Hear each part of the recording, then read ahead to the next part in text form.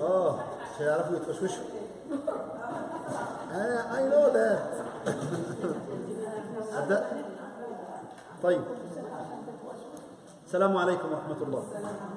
بسم الله الحمد لله والصلاة والسلام على رسول الله. اللهم صل وسلم وبارك عليه وعلى آله وأصحابه وأنصاره وعلى من صار على نهجه واتبع هداه. وارض اللهم عن الصحابة والتابعين وارض اللهم عنا معهم أجمعين. اللهم أمين. وعدناكم أن نتكلم عن فقه النساء واليوم إن شاء الله نتكلم على الحلقة الثانية في المهر. المهر هو صداق المرأة ما يدفعه الزوج لزوجته من المال عند زواجه بها.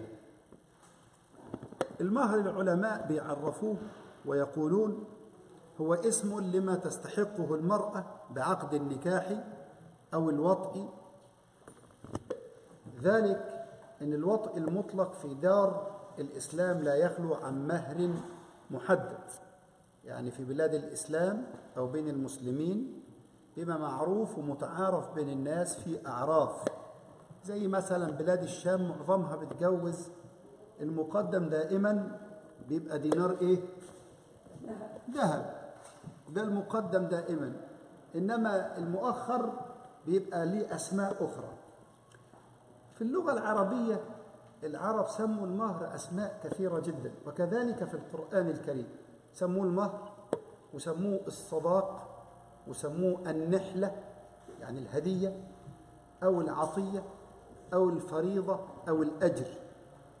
وليه أسماء أكثر من ذلك. في الشرع قال ربنا سبحانه وتعالى في سورة النساء وآتوا النساء صدقاتهن نحلة يعني عطية يعني هدية. وفي سورة النساء أيضا قال فآتوهن أجورهن فريضة. الأجور اللي هي إيه؟ المهر. اللي هو المهر. المهر هذا يكون أثر حكم من أحكام النكاح الصحيح. يكون زواج سليم. أي زواج لابد له من أركان. زوج وزوجة ومتوافقين بينهم الإيجاب والقبول. إيجاب وقبول. وللزوجة ولي للزوجة ولي. الولي بيكون من العصب. من العصب يعني أبوها أخوها عمها من العصب. وصيغة ومهر. والمهر ده حتى لو لم يفعلوه بيتدارك بعد ذلك إن شاء الله. بيتدارك بعد ذلك. هو واجب على الزوج. الزوج هو اللي بيدفعه للزوجة. بعقد النكاح الصحيح اللي هو الزواج الصحيح وجوبا. وبيتأكد هذا المهر كاملا. بيتأكد المهر كاملا بالدخول بالزوجة. لأن عدم الدخول بالزوجة بتأخذ نصف المهر. بتأخذ نصف المهر. سواء بقى سمي هذا المهر أم لم يسمى لابد له من تفصيلات كثيرة جدا. كمان مثلا واحد تزوج امرأة بعقد نكاح فاسد يعني واحد اتجوز بلا شهود مثلا. قعدوا مع بعض كده وقال لها زوجتك نفسي وهي قالت له زوجتك نفسي وهو قال لها قبلت. هذا ليس زواج هذا نكاح فاسد زواج فاسد. فلو دخل بها فالوطء هنا الجماع بيوجب على هذا الرجل أن يدفع لها مهرا. طب هم ما يعرفوش المهر؟ وما قالوا المهر كام؟ ما قالوا. يسمى لها مهر المثل. إيه مهر المثل؟ عمرها كام؟ تعليمها إيه؟ أسرتها شكلها البيئة الاجتماعية اللي عايشة فيها بتدفع مهر كام لمثل من كان في سنها من كان في سنها. يعني مثلا مهر بنت عمها بنت خالها جارتها مثلا عشرين ألف دولار.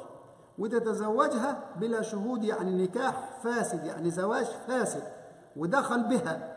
بيجب أن يدفع لها مهرا. هو لم يسمي لها مهرا. نعمل إيه؟ نشوف المثل. بنت عمها وبنت خالها وجارتها وصاحبتها. دفعوا كم مهر في زواجها عشرين ألف دولار. هي بتستحق العشرين ألف دولار. تستحق العشرين ألف دولار. الدليل على وجوب المهر على الزوج لزوجته الله سبحانه وتعالى يقول وآتوا النساء. مين اللي هيأتي النساء؟ الزوج الرجال. وآتوا النساء صدقاتهن نحلة. وآتوا أمر. والأمر هنا للإيه للوجوب. يعني مفيش حاجة بتصرفه مفيش حاجة بتصرفه. ما بينفعش إن الواحد يتجوز واحدة بدون مهر ما بينفعش. ولو تزوجها بتوجب عليه الشريعة في بعض المذاهب إنه شرط من شروط الصحة وشرط من شروط الصحة بيجب على الزوج أن يدفع لها مهرا حتى ولو دخل بها حتى وأي مهر مهر المثل. السنة المطهرة التي جاءت عن رسول الله محمد صلى الله عليه وسلم أوردت ذلك بالتفصيل. جاءت امرأة ووهبت نفسها لرسول الله صلى الله عليه وسلم. النبي صلى الله عليه وسلم كان حييا ما يرفض أحد. ما يقولش الواحدة لا ولا الواحد لا أبدا ما كان يفعل. لكنه رأى رسول الله صلى الله عليه وسلم أنه لا يريد الزواج منها لم يرى الزواج منها. ثم زوجها واحد لما النبي سكت صلى الله عليه وسلم واحد قال له يا رسول الله زوجني إياه. زوجني إياها بإذنها طبعا. فاستأذنها رسول الله فوافقت فقال التمس رحات التمس ولو خاتما من حديد. التمس ولو خاتما من حديد يبقى ده إيه؟ المهر. حديث عبد الرحمن بن عوف رضي الله عنه وأرضاه واحد من العشرة المبشرين بالجنة رضي الله عنه وأرضاه كان رجلا غنيا ثريا في مكة. فيوم أن ضيق المشركون عليهم هاجر من مكة إلى المدينة فرارا بدينه. واخى النبي صلى الله عليه وسلم بينه وبين سعد بن الربيع من الأنصار. وسعد بن الربيع من الأنصار عمل أعاجيب لا يفعلها إلا المسلم الحق المؤمن الصادق. قال له اسمع يا أخي أنا عندي دار كبيرة سأقسمها نصفين. واختر أحبهما إليك أحبهما إليك أعطيك إياه من غير شيء خالص من غير أي شيء. وعندي أموال كثيرة أقسمها بالنصف بيني وبينك وأحبها إليك خذ. وعندي زوجتين أطلق إحداها فتعتد إحداهن فتعتد ثم تتزوجها بعد العدة. حاجة عجيبة جدا. مين يقدر يعمل كده من الناس؟ ده ممكن الإخوان الصلبيين الأشقاء يبقى بينهم بعض عداوة على إيه؟ على شيء زهيد جدا من المال. مظبوط ولا لا؟ مظبوط. شيء زهيد جدا من المال ممكن يحصل بينهم بعض إعراك كبير جدا. المحاسبي عمل كتاب اسمه التوهم بيقول تعارك أخوان على جدار غرفة. عندهم جدار في الغرفة كده في الحجرة. ده بيقول هذا من ميراثي والتاني بيقول هذا من ميراثي بيتعاركوا مع بعض. وكأن الله أنتق حجرا. كأن كده ربنا أنتق حجرا منين؟ من الجدار ده. قال على ما تتعاركان وعلى ما تتخاصمان. لقد كنت في الزمان القديم ملكا على بلدكم. فلما مت حملوني إلى المقابر. ثم تركوا المقابر سنين عديدة حتى درست. يعني تغيرت معالمها ما بقوش يدفنوا فيها. وتغيرت معالمها وبعض الناس حولوها كأنه زي فناء أو ملعب. فجاء صانع اللبن اللي بيصنع الأواني الفخارية. فأخذ جزءا مني من التراب بتاع جسمه اللي اتحلل. وصنعني إبريقا وباعوني في السوق الملك. باعوني في السوق. وكنت في يد الجارية فوقعت فانكسرت. في يد الجارية وهي بتصب على سدها وقع انكسر قال فرموني في الطرقات فحملني صانع اللبن اللي بيضرب الطوب اللي بيعمل الطوب اللي بيصنع الطوب. فصنعني حجرة وها أنا ذا حجرة في جداركم الذي تتعاركون عليه. فعلى ما تتعاركون؟ على ما تتعارك على إيه تتعاركوا يعني؟ على إيه؟ على إيه اللي بتتعاركوا عليه؟ في النهاية الكل رايح للتراب. كله تراب. اللي بيتعارك واللي بيتعارك عليه كمان. كل الدنيا ولله ميراث السماوات والأرض. سعد بن الربيع رضي الله عنه وأرضاه قال له شوف خد نصف المال نصف البيت خد إحدى الزوجات بعد ما أطلقها تعتد. وكان عبد الرحمن بن عوف رضي الله عنه وأرضاه مثالا يحتذى في العزة والشرف. قالوا لا يا أخي بارك الله لك في بيتك. وبارك الله لك في مالك وبارك الله لك في زوجتيك. أنا مش جاي عشان أخذ منك حاجة. إنما دلني على السوق. فين المكان اللي أنا بشتغل فيه؟ فدلوا على السوق. وكان تاجرا عجيبا جدا.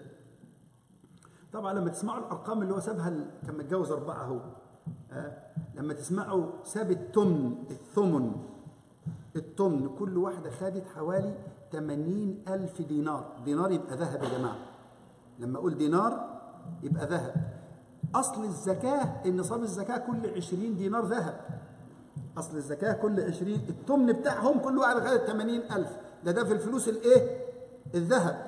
غير الفضة غير الجمال غير الشياه غير الأرض المزروعة غير القوافل التجارة ده ده التمن الثمن. كان يعني من الناس الذين يحولون التراب إلى تبر من من شطارته وحنكته في الإيه؟ في التجارة. بعد دلوا على السوق بدأ يشتغل. بعد ثلاث أربع أيام بعد أسبوع بعد شهر قابلوا النبي صلى الله عليه وسلم معاه أقط وعسل سمنة وعسل وهو مروح. فالنبي قابله قال له ميهم يا عبد الرحمن؟ ها كيف حالك؟ قال الحمد لله رسول الله. قال تزوجت؟ قال نعم. تزوجت امرأة. قال وما صدقتها؟ دفعت لها إيه المهر؟ قال تزوجت امرأة على وزن نواة من ذهب. النواة اللي هي الإيه الخشبة اللي بتبقى جوه التمرة. اللي هي جوه الإيه التمرة. دي حاجة بسيطة قوي. في ذلك الزمن. مش كده؟ المفروض كان يدي أكثر من كده. لكنه في بداية حياته. فقال النبي صلى الله عليه وسلم له بارك الله لك. بس أنا ما عرفتش. إزاي نعرف؟ الأفراح دايما بيكون فيها إيه؟ وليمة. قال له أولم ولو بشاة. أولم ولو بشاة ثم إن النبي صلى الله عليه وسلم تزوج مرات عديدة ولم يخلو زواج رسول الله صلى الله عليه وسلم عن مهر كما إنه صلى الله عليه وسلم زوج بناته الأربع واشترط لهن المهر. طب ليه الحكمة في وجوب المهر للزوجة على الزوجة الحكمة في ذلك بيبين الإسلام عظيم العلاقة التي بين الزوج والزوجة لأن هذه الأسرة الصغيرة هي بناء المجتمع الكبير. ثم إن إجابه على الزوج ليه؟ لأنه هو القادر على الكسب والإنفاق. وكذلك إشارة إلى ما يفرضه الزواج على الزوج من متطلبات النفقة وغيرها وعليه أن يحسن مسبقا. تخيلوا لو واحد قعدتوا أنتوا تتجادلوا معاه في المهر مهر المثل كام؟ مثلا 10000 مثلا. فقال لا أنا ممكن أدفع 1000 دولار. يبقى ده أول إيه؟ أول علامة على إنه إيه؟ جوش قصدي بخيل. صح؟ أول علامة على إنه بخيل. الناس بتخاف منه. إنما الكريم بيقول لا مفيش مشكلة. الكريم مفيش مشكلة. وما ينفعش عند الناس حكاية إيه؟ ها؟ إحنا بنشتري راجل ومش عايزين مهر. ده كلام فاضي. بيجي قبل الدخول بيتطلقوا. وبيبقى سببها إيه؟ الكلام الفاضي. إنما الرجل الصالح قال لموسى كده لما بنته قالت له يا أبت استأجر إن خير من استأجرت القوي الأمين. قال له إيه؟ قال له إني أريد أن أنكحك إحدى ابنتي هاتين على أن تأجرني ثمانية حجج. اشتغل عندي ثمان سنين. ده الوجوب إن حبيت تزود سنة بقى فإن أتممت عشرا فمن عندك. وبعدين العجيب بيقول له بعدها إيه؟ وما أريد أن أشق عليك.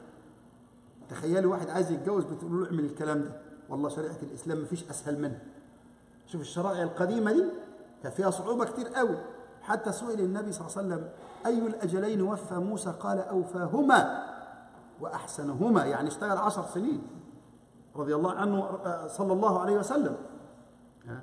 صلى الله عليه وسلم.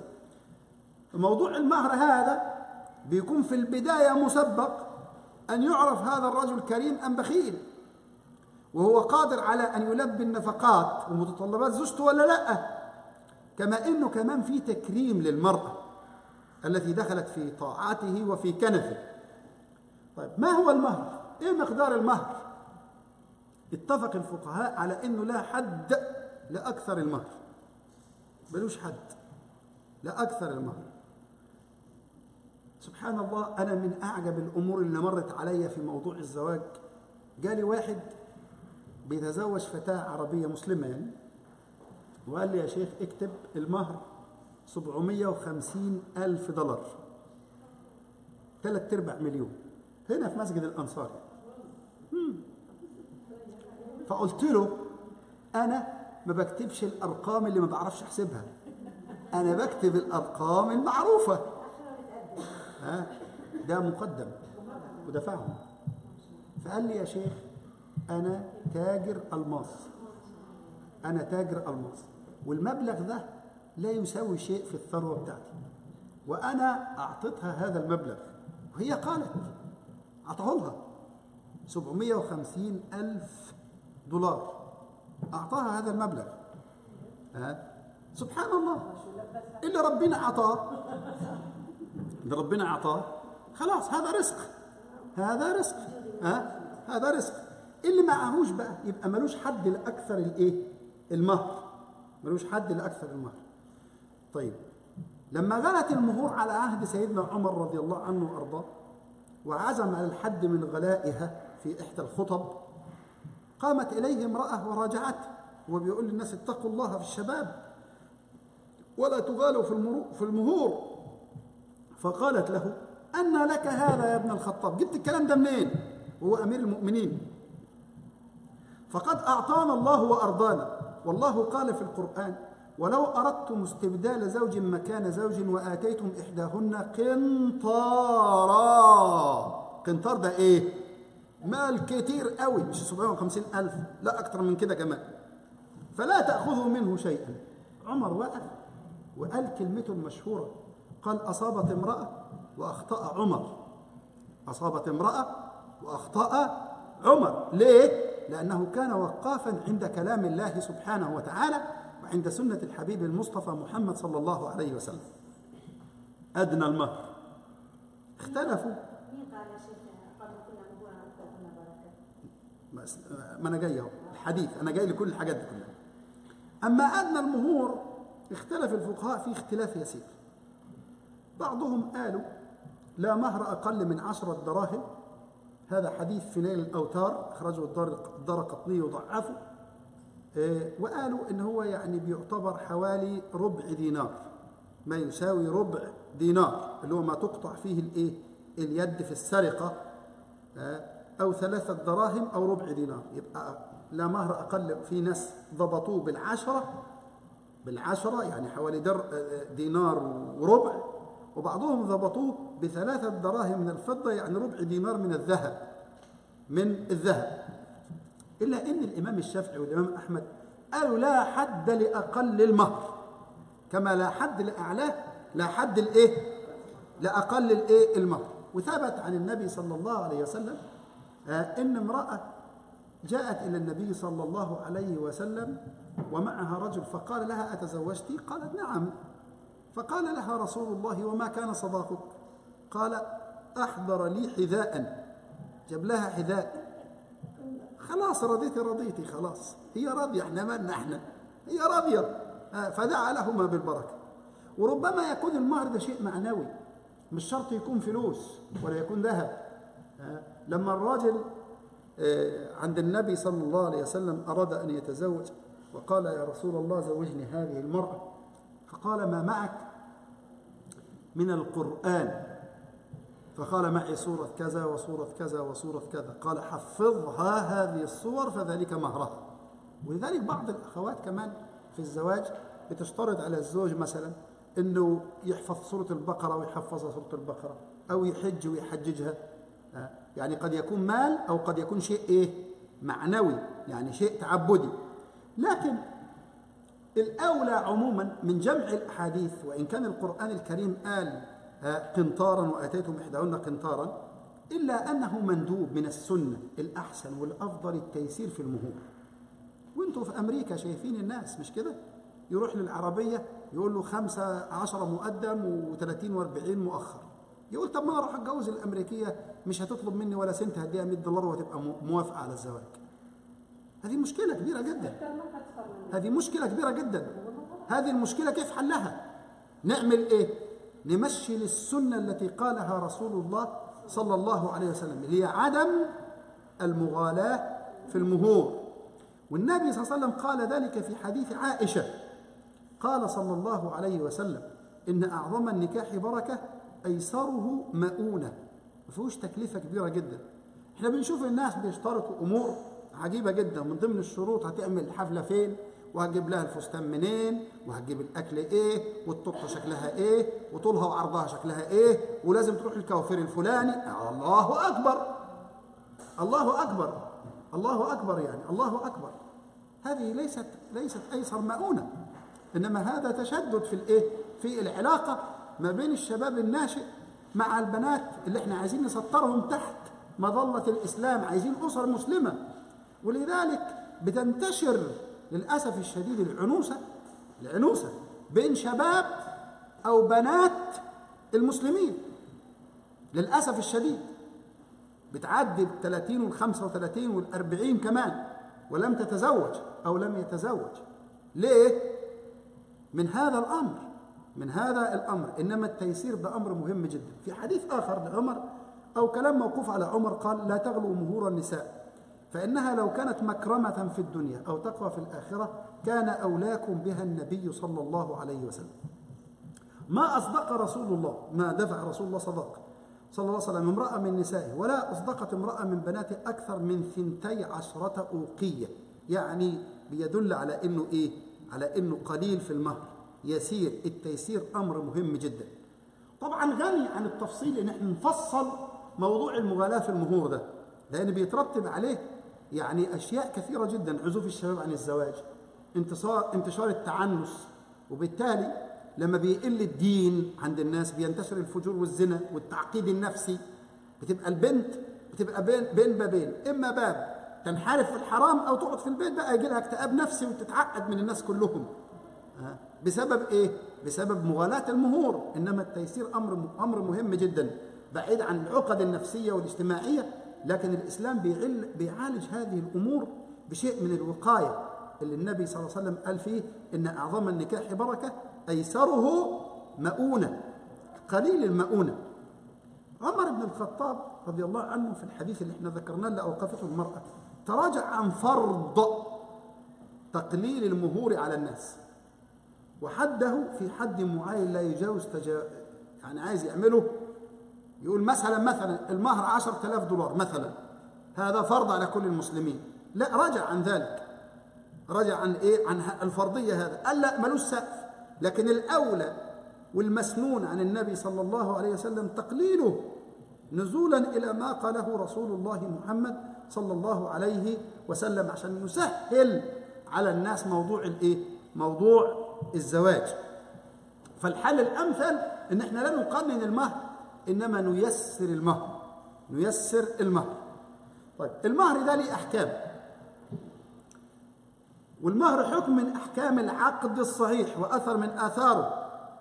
وكذلك حتى لو كان الوطء اللي هو الدخول يعني الجماع بشبهة زي الزواج بلا شهود مثلا أو الوطء بعد نكاح فاسد بيترتب عليه المهر. كما قلنا بيلزم الزوج بمجرد العقد الصحيح سواء سمي في سمى فيه المهر أو لم يسميه. بنشوف اللي مثله وبندفع للمرأة هذه الايه هذا الحق. هذا الحق. إلا إنه المهر له طرق عند الناس. إذا سمي فيه مهر ثبت للزوج المسمى. راح قال لهم أنا يا جماعة الخير أريد أن أتزوج ابنتكم. طيب إن شاء الله نتفق على كل شيء. الفرح هيكون شكله إيه؟ مين اللي هيجي من أهلك؟ إحنا موافقين عليك من حيث المبدأ. بناخد رأي البنت والبنت وافقت. طيب المهر شكله إيه؟ هتدفع إيه؟ قال هدفع خمسة مقدم وعشرة مؤخر. مثلا مثلا يبقى ده اسمه مهر إيه؟ مسمى. يعني إيه مسمى؟ يعني معلوم. يعني معلوم. يكون معلوم. فإذا كان مسمى ثبت بهذه الإيه؟ التسمية. بيثبت بهذه التسمية. لكن بيتأكد إمتى؟ عند الدخول. بيتاكد عند الدخول لأن قبل الدخول لو حصل طلاق فإن طلقتموهن من قبل أن تمسوهن. وقد فرضتم سميتم أعلمتم حددتم آه وقد فرضتم لهن فريضة فنصف ما فرضتم. نصف. نصف إيه نصف المفروض؟ المفروض كام؟ قلنا خمستاشر ألف. وحصل الطلاق قبل الدخول وما حصلش إبراء من المرأة ولا حاجة. وهو كان السبب في الطلاق بتاخد سبعة ونص. قبضهم خمسة وفاضل عنده عشرة. يبقى خمسة وعشرة خمستاشر نصهم كام؟ سبعة ونص. كلام واضح؟ كلام واضح. هذا إذا كان قبل الإيه؟ قبل الدخول. طب الدخول ده أصلا المفروض الدخول بيكون بإيه؟ بإذن الولي في السنة الدخول بإذن الولي. طب عقد على المرأة ودخل وراء دخل عليها من وراء أهلها. وجم اتطلقوا قبل ما يحددوا مع محددين موعد الفرح مثلا مثلا يعني في العيد الكبير. إحنا لسه طالعين من العيد الصغير أهو في العيد الأضحى. ده ميعاد الدخول الذي أذن فيه مين؟ الولي. وهم عقدوا في إمتى؟ في عيد الفطر. عقد اصبحت زوجه لكن منتظر الإذن من مين؟ من الولي بالدخول. وحصل دخول من غير الأهل ما يعلموا. في الحالة دي لا نصف المهر ولا المهر كامل. كامل. يبقى العبرة بإيه؟ بالدخول. العبرة بالدخول. العبرة بالدخول. طب إذا لم ينص على المهر ما نصش على المهر في العقد ولم يسم فيه لم. لم يقل يعني كام الرقم بتاعه. ها؟ بنعمل إيه؟ بناخد مهر المثل. طب واحد عمل مهر لامرأة مثلا مثلا يعني حاجة محرمة. قال مثلا هيجيب لها 10 خنازير تربيهم. هيدي لها ال liquor store يكتبه لها. مش كده؟ بيبيع خمرة وخنزير يعني. ها؟ هيكتب لها ال liquor store. هل هذا مهر ينفع؟ لا ما بينفعش. ما بينفعش. إنما بيقدر بكام ويدفع ثمنه. أو بنرجع لمهر الإيه؟ لمهر المثل. لمهر المثل. طيب جماعة بقى حبوا يخترعوا دين. وقال لك إحنا عايشين في أمريكا والنساء في أمريكا لا تطلب المهر. فخلينا أدي لك بنت بدون مهر. والنص كده على العقد في العقد إن ما فيش مهر فين؟ في العقد. تزوجها بإيه؟ بلا مهر. بلا مهر. هل هذا كلام صحيح؟ طيب. هل ينفع نقيسه على البيع؟ يعني البيع لو أنا ببيع بيع والبيع فاسد ممكن أرجع في الإيه في البيع. لكن التاني اتجوز هل ينفع نقيسه عليه؟ لا بيستثنى منه الإيه؟ الفروج. استثناء الفروج هنا إنما بناخد استحسانا إيه الاستحسان؟ بنعمل فيه إيه؟ الشرط الفاسد يلغى. سيدنا النبي قال المسلمون عند شروطهم ما لم يكن شرطا يحل, يحل حراما أو يحرم حلالا. يبقى الشرط اسمه شرط إيه؟ فاسد. يبقى كأنه لم يكن. نعمل فيه إيه؟ نشوف مهر المثل ونديها المهر. ونعطيها المهر. إذا كان بعد الدخول أو قبل الدخول بتأخذ نصف نصف الإيه؟ نصف المهر. حقوق المتعلقة بالمهر حقوق كثيرة جدا. المهر ده بيتعلق ابتداء بحقوق ثلاثة حق الله لأنه الذي فرض وحق الزوجة لانها هي التي تأخذ؟ وحق الأولياء الذين يطالب به وبيتعلق به بعد ثبوت في ذمة الزوج حق واحد. هو حق مين؟ حق الزوجة. مراعاة لحق الله إزاي؟ إزاي بنراعي حق الله سبحانه وتعالى في المهر؟ لأن المهر حكم من أحكام العقد الصحيح ربنا نص عليه في القرآن الكريم بيثبت بمجرد العقد. سواء في ذلك بقى أسمى المهر أم لم يسمى نفاه أو ما يعرفش. ما يعرفش المهر أنتوا عارفين في ناس ياما ما بيعرفوش الأمور دي عند المسلمين هنا في, في أمريكا. وأنا حكيت لكم قبل ذلك إن في واحد كان متزوج امرأة وطلقها النهارده وكان واحد بيساعدها في ذلك الأمر بعد ثلاثة أيام. بعد ثلاثة أيام. ثلاثة أيام. ما لقيت مراته الأولى بتتصل فيا.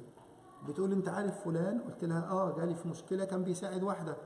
أنت مين؟ حضرتك؟ قالت لي أنا مراته. وأنا هجي لك. وجت بعيالها الثلاثه الثلاثه هو قال أنا مش متجوز. واتجوزها بعد ثلاثة أيام. بدون عدة. مفيش عدة بعد ثلاثة أيام. رحت له. المحل اللي كان شغال فيه وساب البلد ومشى قلت له. قلت له يا ابني هذا ليس زواجا هذا زنا.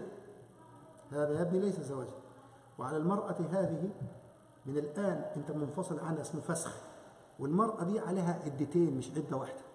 العدة الأولى استبراء من الأول والعدة الثانية استبراء من دخولك. ثم إذا شئت أن تتزوجها يبقى بعد العدتين إن شاء الله.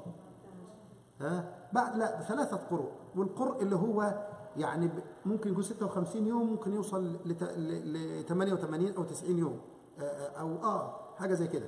بالشهور العربية. بالشهور العربية. هذه القروء الثلاثة يعني. القرء الواحد اللي هو الشهر. اللي هو الطهر بيتخلله إيه؟ حيضة. آه، اسمه قرء. ثلاثة قروء يعني ثلاثة إيه تقريبا ثلاثة أشهر. قد يكون 56 يوم إلى أعلاه زي ما قلنا حوالي 90 يوم أو حاجة و80 يوم. فقال لي لا أنا عملت جوجل الشيخ جوجل ابن ياهو دخلت عليه ولقيت فيه شيوخ بيقولوا it's okay الجواز قلت له يا حبيبي ما فيش حد بيقول هذا الكلام أبدا من المسلمين من كل طوائف المسلمين سواء المسلمين المعتدلين أو المسلمين المنحرفين من الشيعة أو الخوارج أو الإباضية الكل بيقول لابد من العدة والأحكام واحدة. عندنا وعندهم في هذا الأمر في هذا الأمر لأن يا حبيبي الأصل في الأشياء الإباحة في الإباحة الأصل الأشياء كلها الإباحة إلا الفروج الأصل فيها التحريم. ما ينفع يا ابني. ذكرت له كثير من الأدلة. فقال لي إن شاء الله سأفعل بعد يوم لم أسمع عنه إلى يومنا هذا. إلى يومنا هذا. آه، هذه مصيبة. الجهل ثم العناد. جهل ثم عناد. في كثير من الناس ما بيعرفوش هذا الأمر. يبقى لابد من إيه؟ من تصحيح هذا الأمر. من تصحيح هذا الأمر. وأنا ذكرت لكم يعني آه، في بعض المسلمين كمان عندهم خلل نفسي في التفكير. آه الله يرحمه أخونا من التجار هنا جات له بنت أمريكية بتشتري منه لحمة. وبتقول له أنا عايزة لحمة حلال.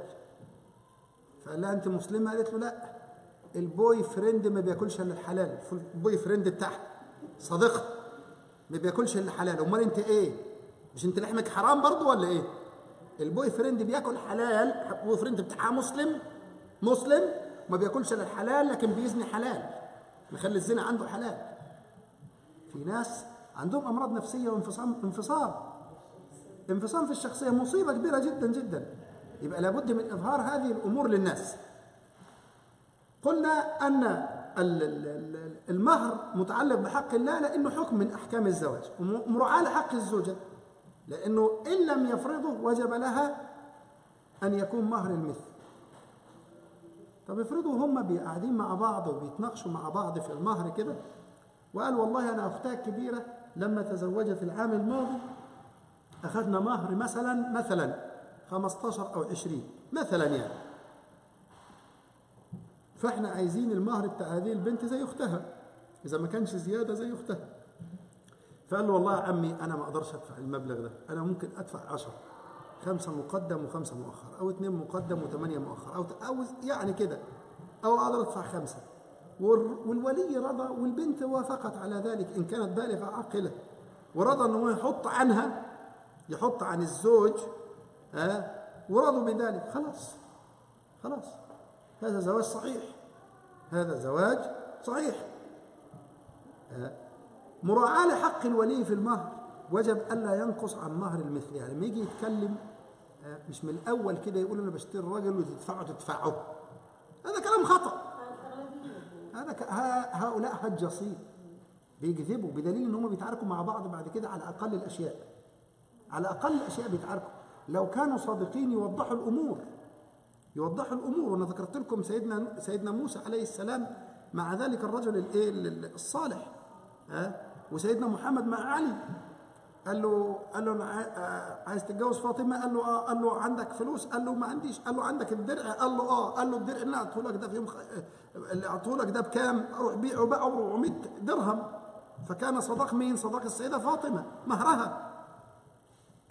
هذه أمور واضحة أمور واضحة. لازم تكون في ذهنية المسلمين. فواجب انه لما بيتكلم عنها بيتكلم بلسانها لا يبخس لها حقا. لا يبخس لها حقا. بعض الأزواج عندهم نفسيات مريضة المفروض يخشوا المصحات العقلية.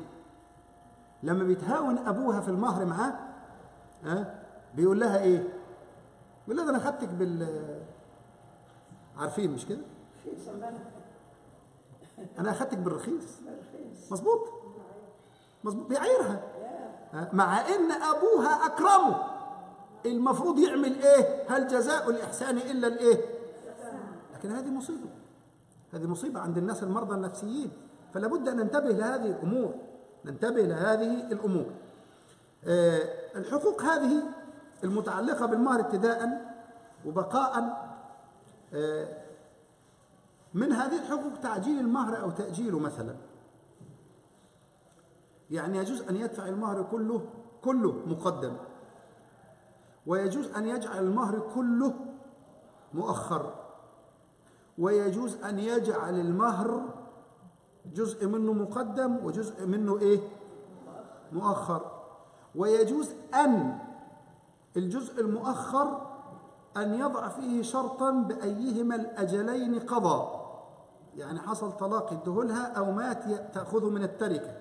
يجوز لكن الأولى. في البلاد دي خدوا بالكم. البلاد ديت لما يكون في زواج المهر لو ما أخذوش في الأول إذا ما كانوش أسر يعني لأن الأسر بتقف عند حدود الشرع بقى لهم كبير بنتكلموا معاه وبيحل المشكلة لكن لما يكونوا ناس عاديين كده أهو بيقول لا في مهر ولا في أي حاجة. ما في أي مهر مش هدفع مهر. لو عايزة تطلق بالإسلامي لأن الطلاق الأمريكي ما بيكونش طلاق صحيح يبقى ده فك الارتباط المدني فاضل الطلاق الإسلامي في هذه الحالة. إذا كانت عايزة تطلق تخلع نفسها. تخلع نفسها أو تبريني من الحقوق الإيه؟ المالية. فإذا أبرتني من الحقوق المالية سوف أعطيها آه، الطلاق الإسلامي. هذه أمور مهمة جدا جدا. ولم يحدث يعني عندنا على مر السنين اللي أنا عشتها هنا في المحكمة في سانتا أنا إلا أخت واحدة. خدت الورقة الإسلامية وطلعت بيها لل- للقاضية وكانت القضية جديدة مش عارفة ال- الدستور كويس مش عارفة القوانين كويس.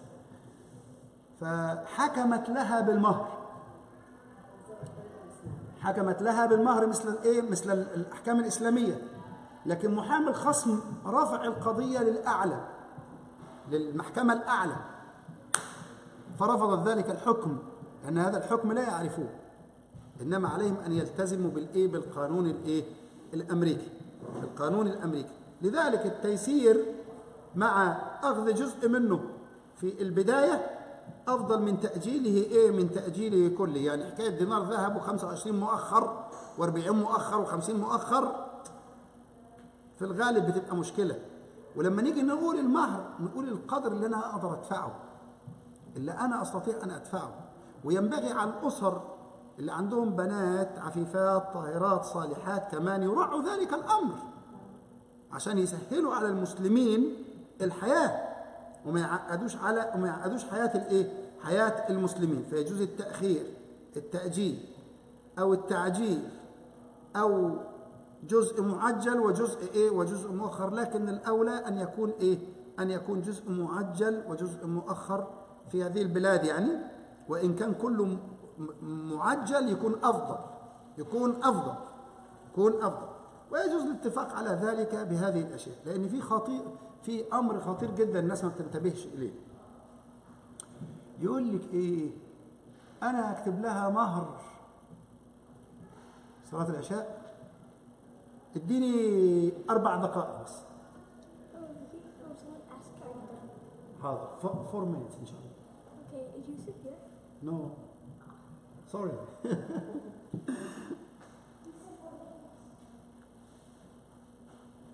صلوا على النبي. أنا نسيت كنت بقول إيه. حاجة خلاص. المهر يعني في الدفع الاولى يعطيش في الأول آه. يقول إيه؟ أنا بشتري راجل اديني دينار ذهب وخمسين ألف مؤخر. تقول له يا عم لا. يقول لك يا راجل هو في حد بياخد حاجة؟ من قال هذا؟ المرأة بتستحق بمجرد الدخول المهر كاملا يعني المهر المعجل. إذا لم يشترط أيهما الأجلين المهر المعجل ده. في هذه الحالة في هذه الحالة بعد الدخول إذا طلبته وهو قادر لازم يدفعها. لازم يدفعها. ويجوز لها أن تتنازل عنه. فإن طبن لكم عن شيء منه نفسا فكلوه هنيئا مريئا. إذا سامحتك ماشي بس أنا عارف الستات بيسامحوا النهارده وبكرة ما بتسامحش فلازم يدي لها كل حاجة. لا آه حسب الموت. فلازم يديها كل شيء كل شيء لازم يعطيها. كل شيء. ده أمر مهم جدا. في بعض الناس بيحطوا أرقام ومش في نيته إن يدفع ذلك الرقم. صح ولا مش صح؟ اسمعوا بقى النبي بيقول إيه؟ من تزوج بصداق ولم ينوي أداءه فهو زان. صلى الله عليه وسلم قال كده. وكمل الحديث. ومن استدان دينا ولا ينوي أداءه فهو سارق. هذا كلام النبي صلى الله عليه وسلم. فلا بد أن إيه أن ننتبه لهذه الأمور آه، حتى تظل بيوتنا إن شاء الله بيوت مستقرة. لكن الأمر الأخير اللي أنا أحب وأتمنى إن كل الأخوات يساعدونا في ذلك اللي هو إيه عدم المغالاة في المهور والتيسير على شباب المسلمين والمساعدة لبناء اسر أسر المسلمين ودائما الناس لما بتتزوج يعني بعضكم متزوج من عشر سنين أو من ثلاثين سنة أو من أربعين سنة أو من خمسين سنة آه، يوم ما جاء زوجك ما كانش راجل غني ولا حاجة إنما كان إيه؟ كان لسه بيبدأ حياته ثم الله سبحانه وتعالى أعطاه رزقا وفيرا عندما حصل الزواج لأن النبي صلى الله عليه وسلم يقول ثلاثة حق على الله أن يكون في عونهم منهم الله أوجب على نفسه حق على الله أن يكون في عونهم. منهم الناكح يريد العفاف اللي بيتزوج ويريد أن يعف نفسه. ثم الله يغنيهم بعد ذلك. إن يكونوا فقراء ها يغنيهم الله من فضله سبحانه وتعالى. بس يغنيهم بروح يرقصوا على الثاني وانت فكير يضلوا معك وهو فكير بس الله معك. ربنا يبارك فيكم ويحفظكم ويتقبل منا ومنكم واجعلنا وإياكم ويجعل بيوتنا بيوت اجعل بيوتنا بيوت آمنة مستقرة ها؟ ويكتب لنا ولكم السعادة إن شاء الله وربنا يغني المسلمين كلهم من فضله والغنى ليس غنى مال فقط إنما الغنى غنى الإيه؟ النفس بارك الله فيكم والسلام عليكم ورحمة الله